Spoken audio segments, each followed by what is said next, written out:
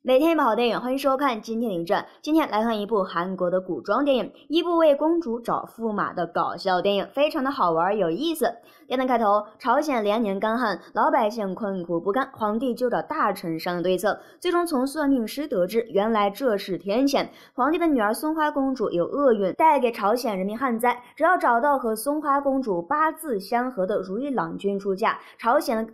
朝鲜的旱灾才能缓解，最终没办法，朝鲜皇帝决定为松花公主全国寻找八字相合的如意郎君，一旦选中，就会成为皇室的驸马，获得巨大的财富和权力。于是故事开始了。松花公主得知父亲为自己选驸马，很高兴，毕竟从小都被人看作恶魔，能够找一个如意郎君也不错。不过此时意外发生了，松花公主的姐姐告诉松花公主，和一个没见过面的人结婚会很倒霉。原来松花公。公主姐姐也是皇帝指媒的，结婚后并不快乐，天天愁眉苦脸。松花公主选驸马的事在全国引起轰动，由精通八字姻缘的徐道允来负责。经过全国筛选，一共确定了四位：王尹时京、姜辉、世子。徐道允把名单制作成八字贴到了朝廷。不过此时意外又发生了，八字贴不见了。然而松花公主听了姐姐的话，思来想去，感觉不对，觉得成婚前应该去见一下这四个人，就假扮成仆人。去偷了八字贴，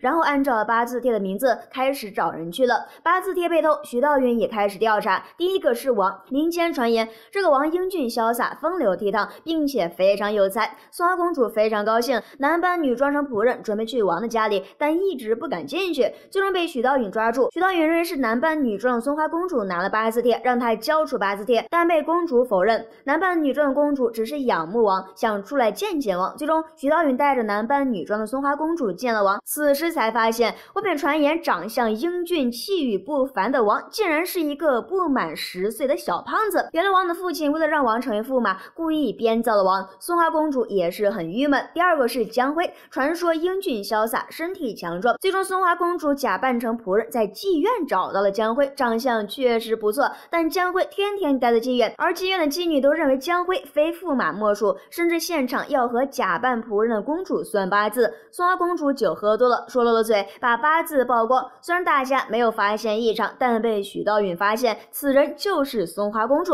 最终，许道允把醉酒的公主送回了家。第三个是世子，松花公主再次扮成仆人去找世子，但世子不在家。看到世子的佣人都快饿死，松花公主决定自己出钱，让世子家人打开粮仓救济。但最终被世子发现，世子非常生气，要杀死松花公主。仆人找到松花公主，开始逃命，不过被世子抓住。差点被杀，幸好徐道允及时赶到，才救了松花公主。不过两个人被世子推下了悬崖，掉进了瀑布。松花公主因落水感冒，徐道允就准备去山下拿药，结果回来公主不见了，原来是被尹京石带走了。尹京石一直想当驸马，和贵妃勾结，贵妃想让自己的儿子将来当皇帝，也希望尹时敬能够成为驸马。不过尹时敬的八字和松花公主的八字相克，会带来报应，甚至使皇帝无后。但为了能够当上驸马，尹时敬开始了行动，先是找到了徐道允，让他作假改八字，弄成和公主天衣无缝的八字，但被徐道允拒绝，于是就一直跟踪公主和徐道允。看到公主生病，于是尹时敬就打算生米煮成熟饭，先是通报公主不在皇宫，在自己家里，然后用迷魂香准备抢劫公主。不过被徐道允及时赶到，最终皇宫来人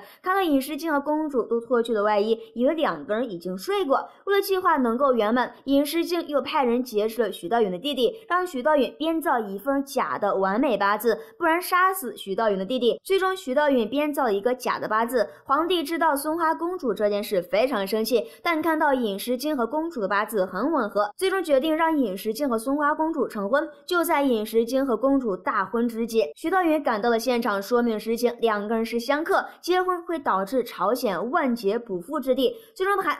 最终还把贵妇的事情告诉了皇帝，皇帝大怒，处决了尹时敬，也把许道允给流放了。电影结尾，公主此时才发现自己最喜欢的就是徐道允，就找到皇帝，宁愿不做公主，希望可以留下徐道允。为了保全皇族颜面，又为了女儿的幸福，皇帝决定取消公主头衔，成为平民，让公主去寻找自己的幸福。此时，朝鲜开始下雨。这部韩国古装爱情偶像剧，加上八字算命的概念，还有韩国时剧。万变不离其宗的大阴谋，反派版的阴谋对纯真爱情的摧残，让这部电影非。常出彩，喜欢的可以看看。电影名字《宫和》，想看更多的好电影，赶紧关注微信号“影展”吧。